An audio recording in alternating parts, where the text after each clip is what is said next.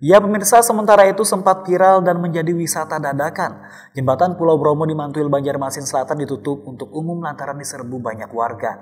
Keputusan menutup oleh Wali Kota Ibnu Sina guna menghindari adanya kerumunan yang berpotensi besar terjadinya penularan COVID-19.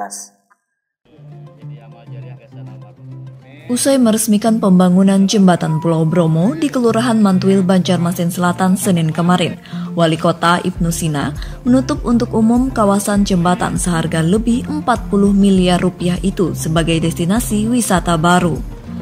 Hal itu dilakukan untuk menghindari terjadinya kerumunan yang memicu penyebaran COVID-19. Mengingat beberapa hari lalu jembatan ini sempat diserbu masyarakat.